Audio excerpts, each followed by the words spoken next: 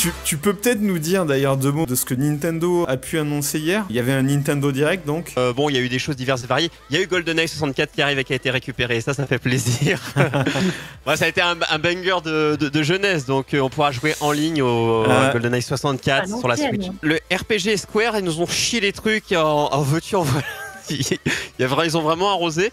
Euh, comme je disais, toujours du, du contenu en plus pour euh, bah, quand on a le Nintendo Online. euh, Vous savez, vous avez des jeux NES, Super NES, machin, et du coup, bah, ils ont dit des, nouveaux jeux euh, 64 qui complètent ce fameux cons- console virtuelle qu'il y avait à l'époque sur la Wii U mais avec l'abonnement. Donc ça, évidemment, ils continuent de l'étoffer. Pas d'annonce pour rajouter la Game Boy à la Game Boy Advance que les gens attendaient, mais ce n'est pas encore le cas. Il y a eu des leaks comme quoi l'émulateur Game Boy, Game Boy Advance serait intégré, donc ça va arriver, mais quand?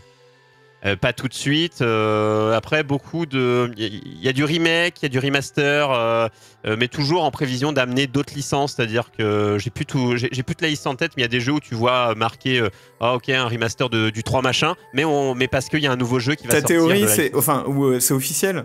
Est-ce que il sort des remasters en fait pour relancer pour l'intérêt le autour d'une Il y, a- licence il y a- y y beaucoup de fois où ils tâtent le terrain. On, on attendait, on n'a pas eu d'infos sur du les Metroid Prime, mais euh, enfin, dans en tout cas dans son Nintendo Direct.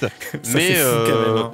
il Je me l'attends semble, tellement. C'est me complètement dingue, moi je trouve. il me euh, semble qu'il va y avoir un, enfin, Ils nous ont sorti, entendu, ils nous ont sorti un JPEG il y a 4 ans sur euh, Metroid Prime. Et, et, et depuis, ils nous trollent, c'est pas possible. mais il me semble qu'il va, Ah, ça, ça il me semble qu'il va y avoir Oui, une un truc sorte qui de, m'échappe, melt- je sais pas. de melting pot des premiers, mais qui va permettre de tâter le terrain, de relancer et après pour pour, pour faire un tapis doré pour le pour, euh, pour, pour le 4 hein, qui, qui, qui arriverait, c'était souvent euh, un, La vache, il, a intérêt à être bien. Hein. Et beaucoup de jeux dans le cloud, notamment on a dû plus c'est lequel quel Resident Evil qui arrive sur le cloud, ils sont ils se mettent beaucoup à faire ça, hein, à mettre les, les jeux sur le cloud. Il y a eu euh, Kingdom Hearts, où ça a été le cas, qui ils ont ajouté tout sur, sur le cloud, euh, puisqu'évidemment la machine est ce qu'elle est, donc euh, euh, voilà, ça permet d'avoir une autre expérience. Donc à voir. Évidemment, il parlait de tout ce qui est les les, les, les DLC, des, de toutes les maps dont- de Mario Kart. Donc les gens qui attendent un nouveau Mario Kart, sachant que les ils avaient sorti un gros pack de il y aura plein de maps à sortir. Bah, pour l'instant, on n'est pas encore au dernier package de maps. Donc, euh, nouveau Mario Kart, c'est mort. Du contenu gratuit pour le Striker Charge Football. euh, des mises à jour pour euh, le, le dernier jeu euh, euh, Switch Sport. Enfin, ce, ce genre de choses. Et à la fin. euh, et à la fin, il y a un Kirby, mais c'est un pareil, c'est un remaster d'un remaster euh, d'un Kirby hein. 2D Oh qui arrive.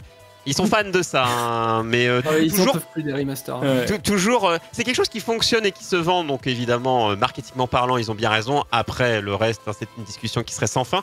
Et à la fin, euh, il y a eu euh, donc euh, un jeu donc que tout le monde attendait, une date, un nom et euh, des images, à vo- à savoir donc Breath of the Wild 2, comme on l'a Mhm. appelé pendant euh, très longtemps, et du coup qui a un nom maintenant.